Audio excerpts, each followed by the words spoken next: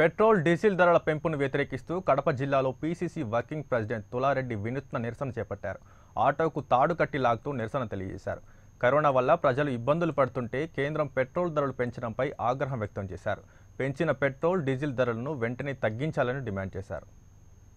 మోహన్ రెడ్డి గారి నాయకత్వంలోని రాష్ట్ర ప్రభుత్వం వడ్డింపులు వాయింపుల ప్రభుత్వాలుగా తయారయ్యాయి.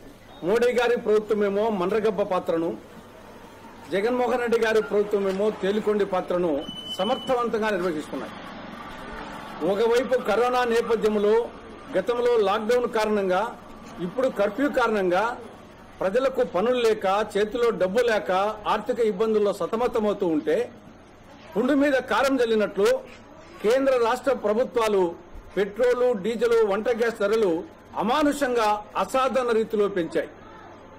ఈరోజు పెట్రోలు డీజిల్ ధరలు ఇప్పటికే సెంచరీ దాటాయి. డబుల్ సెంచరీ వైపు పరుగులు తీస్తున్నాయి.